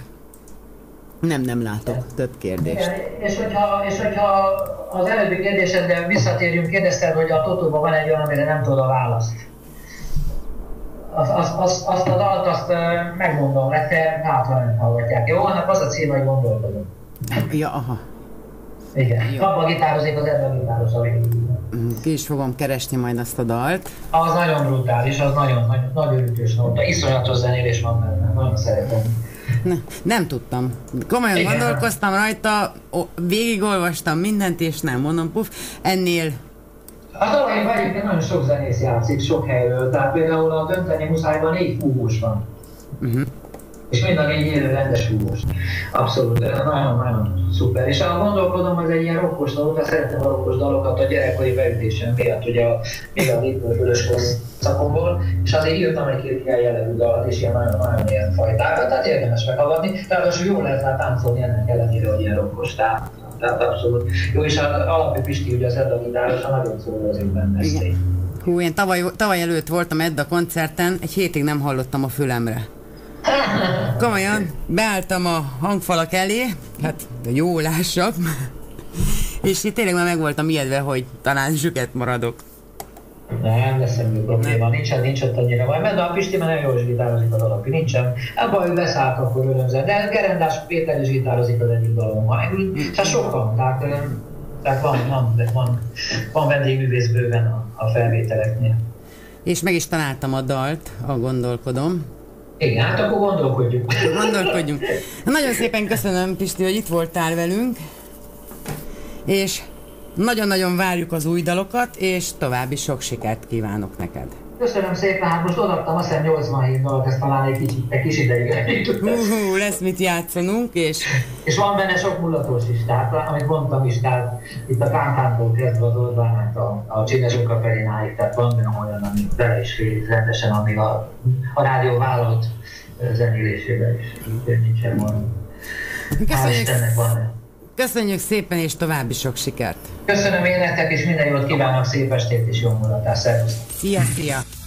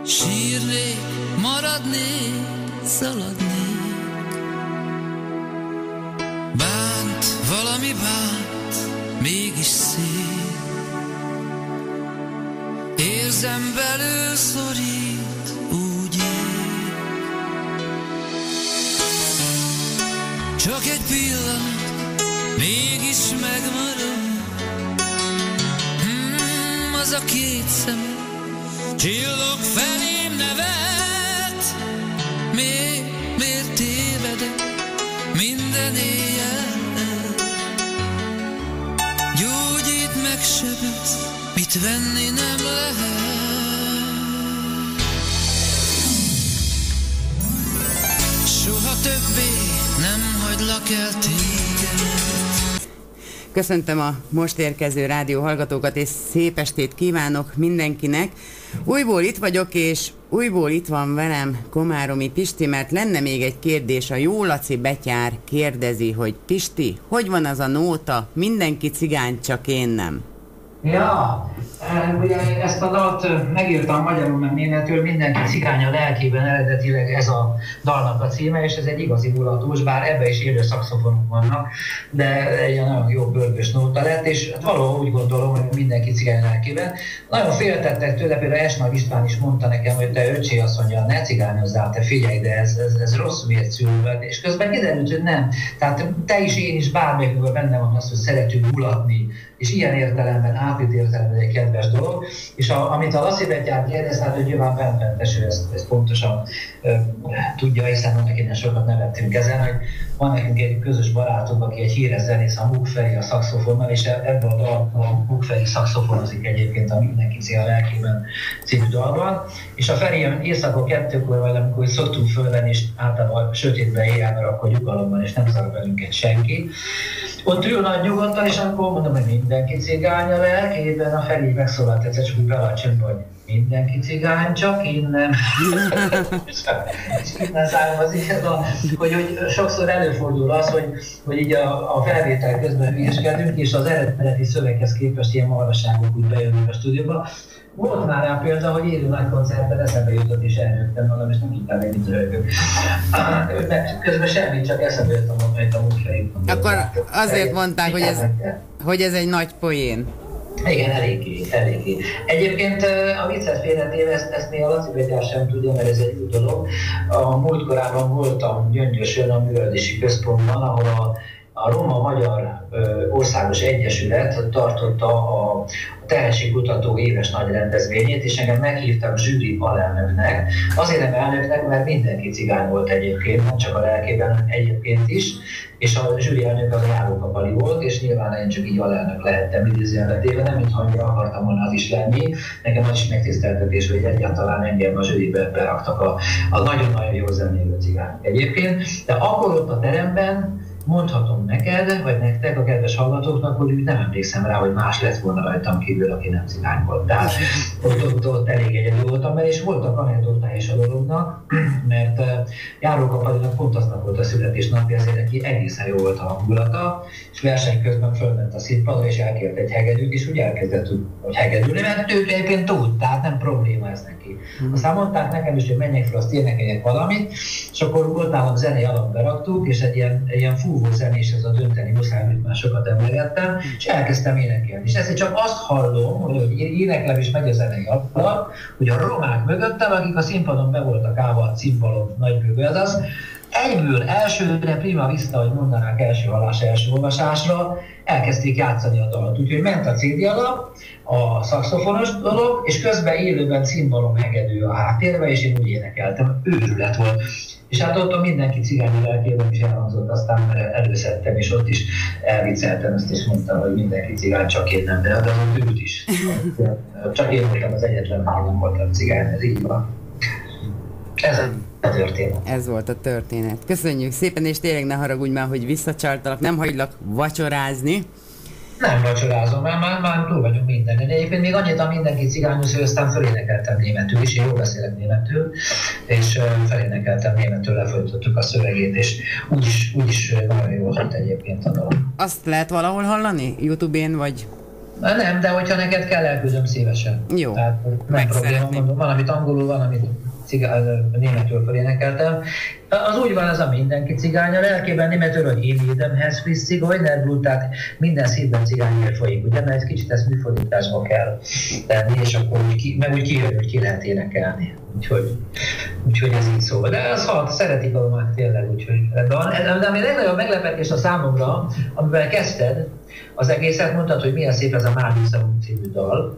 Igen. És uh, nekem nagy meglepetés, hogy ez egy ilyen brutális nagy lassú és nagyon sok roma embert ismerek, férfit és nőt is, akinek az a kedvenc dala pedig, hát mit hallom mindig, hogy csalalá, ez megy folyton, és ehhez képest itt van ez a brutális mérira, és azt mondják, hogy na ez igen, ez egy nagyon nagy dal. Ezzel én is csodálkozom, tehát, tehát ebből is látszik, hogy a romáknak van lelkük, és, és fogékonyak az ilyesmire is. Akkor a következő dalom a Dönteni muszáj, mert ma este annyit hallottam, és akkor... Hát ez nagyon szép mondom. És akkor most úgy döntöttem, hogy a Dönteni muszáj lesz. Ez nagyon szép dal, ez nagyon elgondolkodtató, na ez az, amiben belecínban hoztak aztán is Ebben négy fúgós játszik egyszerre. Igen? Ah, nagyon szép, még trombita is van benne, hallod? No. Ez nagyon ott van. Nagyon ott van, igen. Nagyon büszke vagyok erre a dalra. Nem is gondoltam, hogy ez ennyire szép lesz. Még egyszer nagyon szépen köszönöm, hogy itt voltál velünk, és további szép estét kívánok neked. Szervusztok még egyszer, minden jót, Lacit is üdvözlöm még egyszer. Sziasztok! Jó, szia, szia!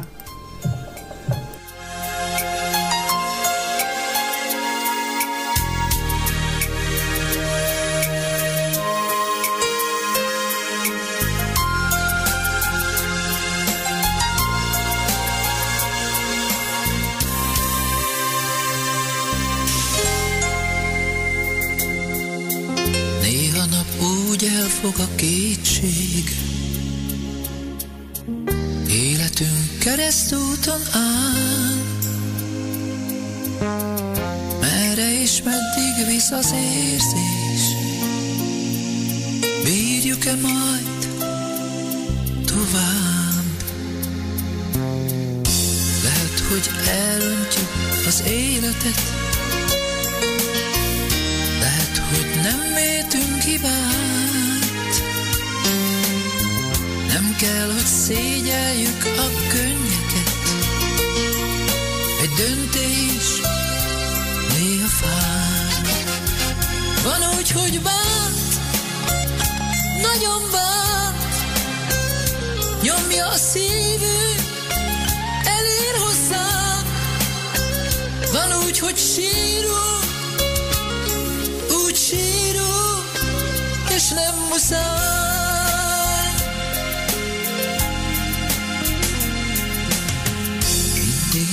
Jöhet oly kihívás. Ilyenkor gondunk ölel át.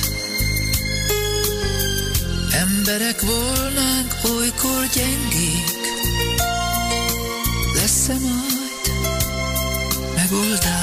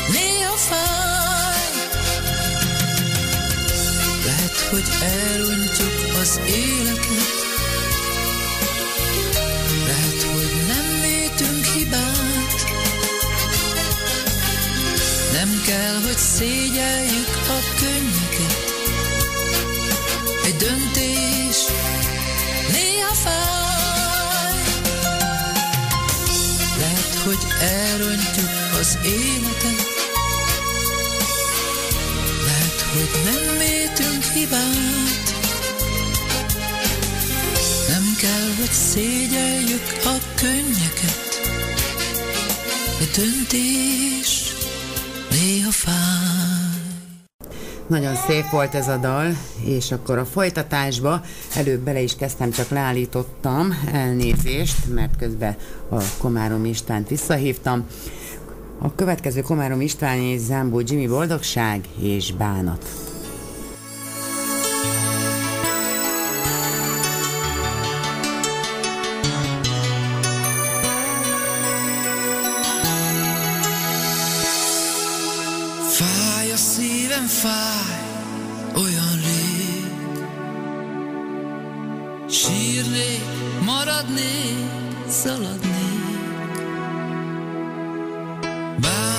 Valami bánt, mégis szép. Érzem belül szorít, úgy ég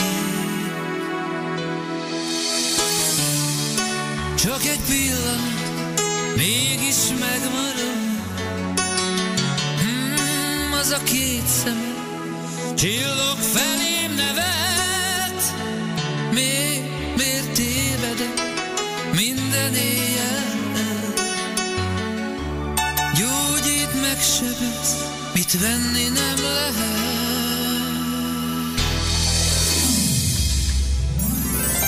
Soha többé nem hagylak el téged. Veled leszek, ameddig csak kéred Most is hallom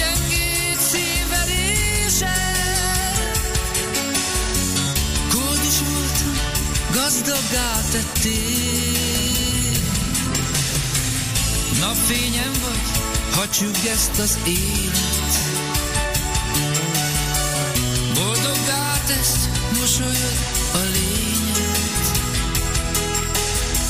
Szükség van a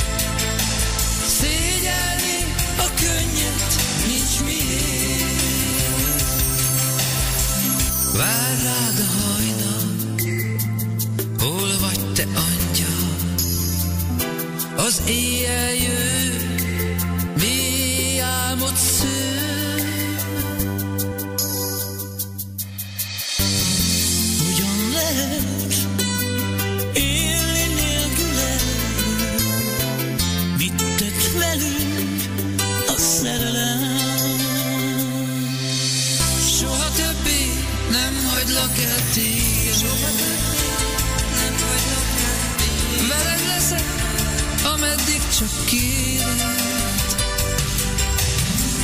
Most is hallom gyengét szívverésed. Bús voltam, gazdaggá tettél. Napfényem van, ha csüggeszt az élet. Boldogá tesz, mosolyod a lényeg. Szükség van a kezed melegére. Szégyelni a könnyed nincs miért.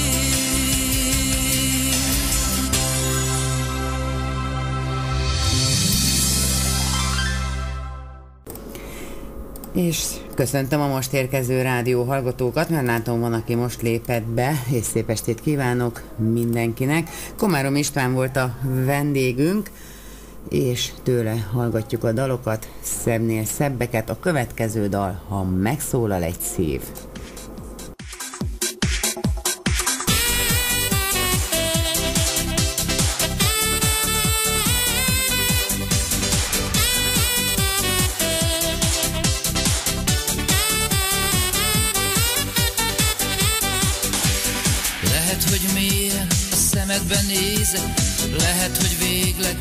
A kezedhez érek, és megfogom, megfogom, igen.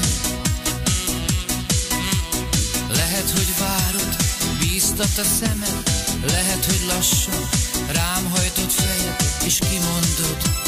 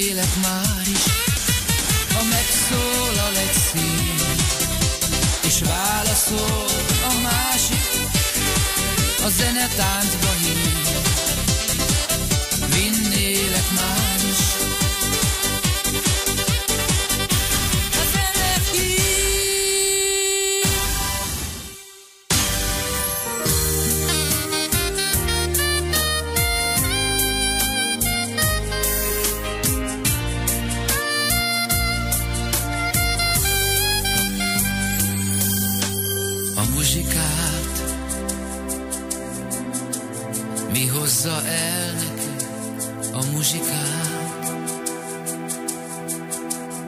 Mit jelent ez a szó, boldogság. Mitől jön el?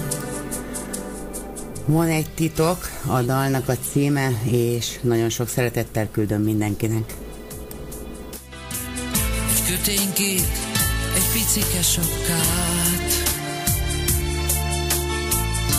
Visszagondol ő egy apró srácra A szíve mélyén így néz ma is rá. Minden léptünk úgy végig szorongja. Féltő gonddal vigyázna még ránk Van egy titok, a gyöngétség, egy érzés. Erősebb, mint annyi minden más. Kis ruhánk, fiókban őrzött tárgyak a kis ruhák. Kivasalt tiszta holmik gondozzák, ma is óvják. Minden anya rejteget egy tárgyat, egy köténykét, egy picike sapkát. Visszagondol ő egy apró srácra, a szíve mélyén így néz ma is rá. Minden léptünk úgy végig szorongja, Féltő gonddal vigyázna még ránk. Van egy titok, a gyöngétség, egy érzés, erősebb, mint annyi minden más. Minden anya rejteget egy kötényké, egy picike sokkát. Visszagondol ő egy apró srácra, a szíve mélyén úgy néz ma is rá.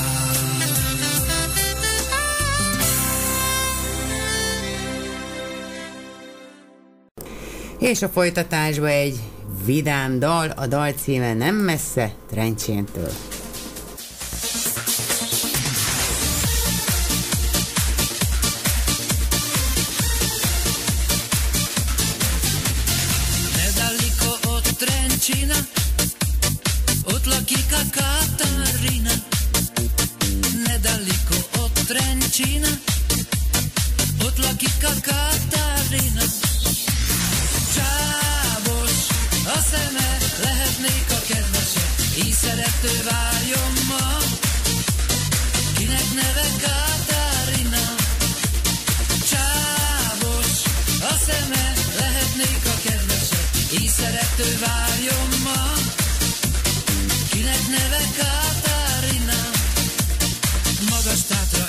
seen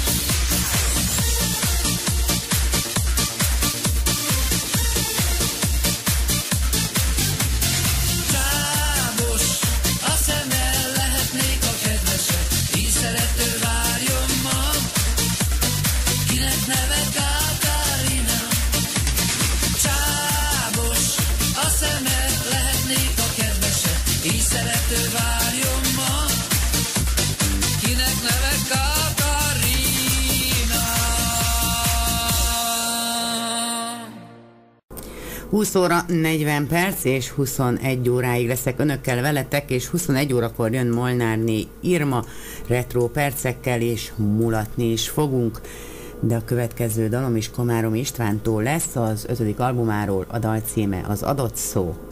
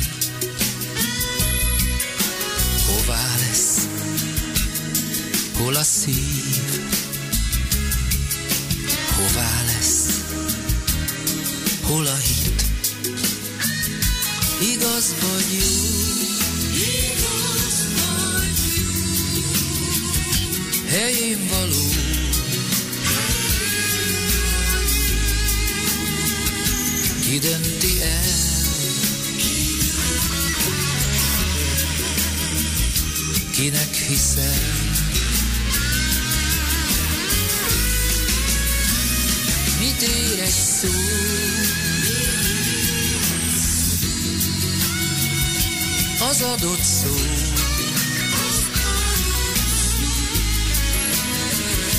Ki el?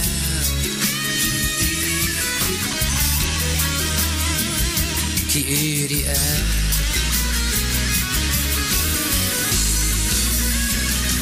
Igaz vagy jó?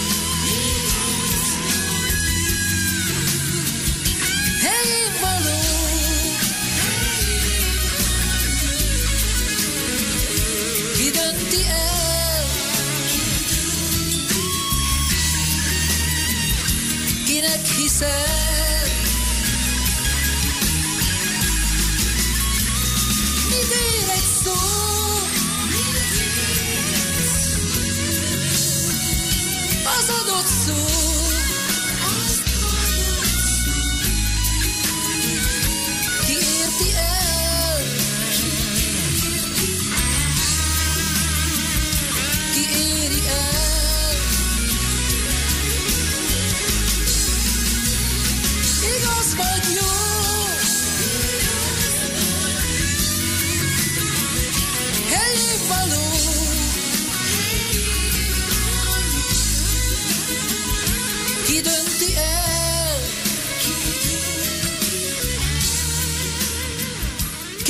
hiszel.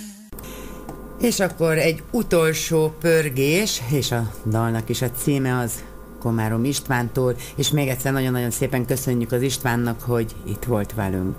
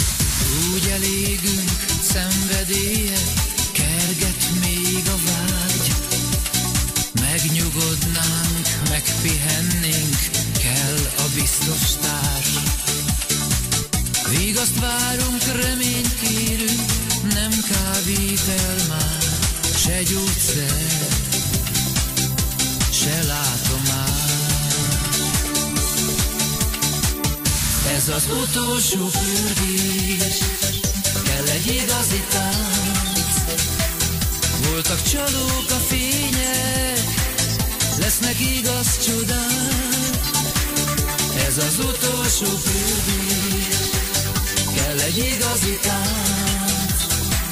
Voltak csalók a fények, lesznek igaz csodák. Ez az utolsó pürkés, kell egy igazi tánc. Voltak csalók a fények, lesznek igaz csodák. Ez az utolsó pörgés, kell egy igazi tánc. Voltak csalók a fények, lesznek igaz csodák. Utolsó pörgés.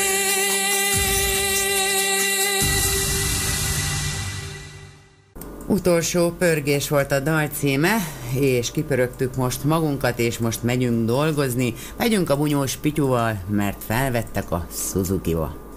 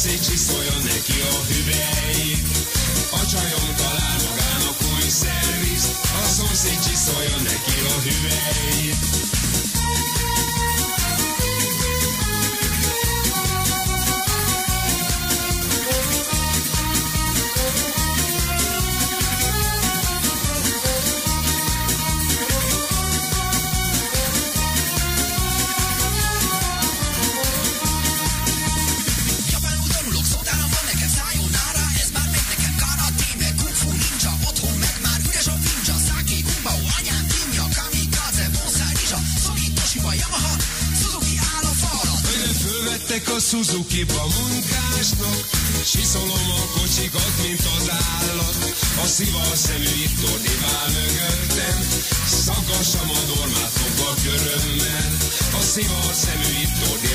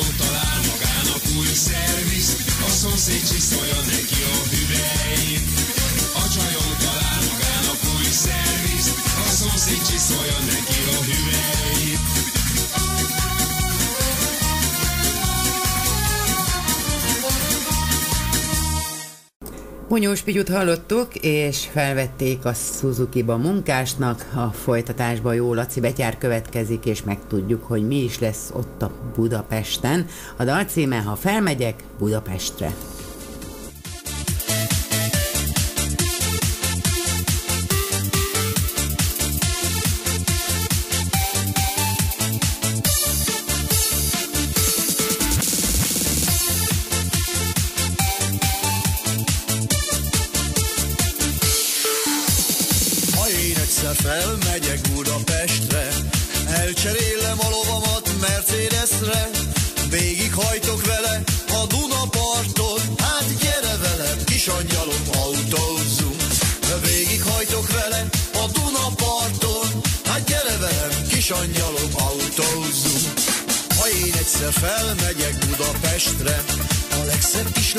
Ültetem az ölembe, Adok neki csókot vagy tizenhármat, tudja meg, hogy itt csókolnak a betyárok.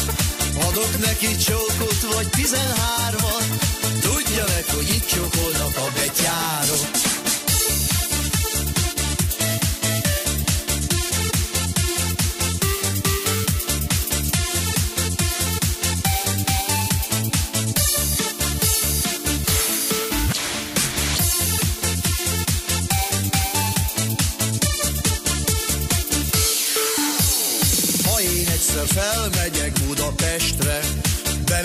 De bemegyek a parlamentbe, csattintok az ostorommal jobbra-balra, tudják meg, hogy a betyár milyen fajta.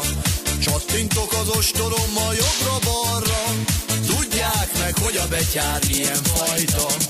Ha én egyszer felmegyek Budapestre, a legszebb kislányt ültetem az ölembe, Adok neki csókot vagy tizenhármat, tudja meg, hogy itt csókolnak a betyárok. Adok neki csókot vagy tizenhármat, tudja meg, hogy itt csókolnak a betyárok.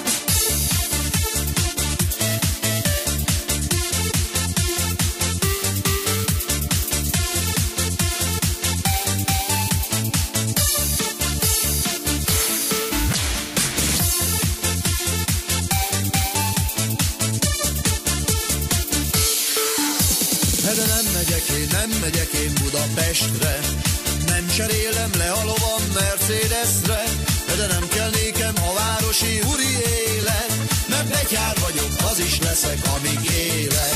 De nem kell nékem a városi úri élet, mert betyár vagyok, az is leszek, amíg élek. De nem kell nékem a városi úri élet, mert betyár vagyok, az is leszek, amíg élek.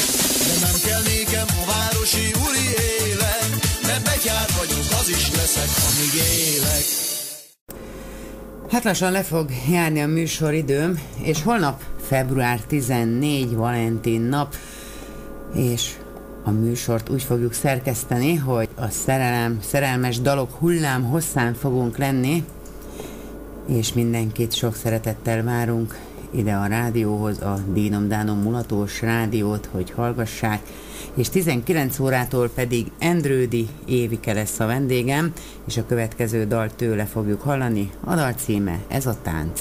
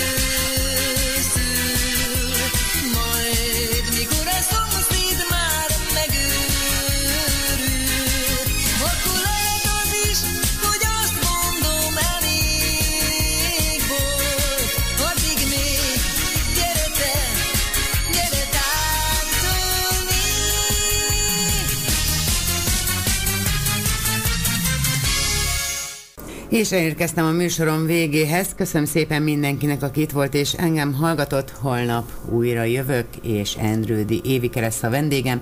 Jövő héttől pedig hétfőn, szerdán, pénteken játszani fogunk. Újraindul a játék, és kedd és a csütörtöki napokon pedig vendégek lesznek. A dal, amivel elköszönök, mivel holnap Valentin nap, Gyémánt Valentintől lesz a dal, a dal címe ez majdnem szerelem volt. De senki ne menjen sehova, mert jön utánam rögtön Molnárné Irma, szeretettel várjuk őt, és további szép estét, jó szórakozást kívánok mindenkinek a mikrofonnál, Oláné Bálni Zsuzsát, Sufit hallották.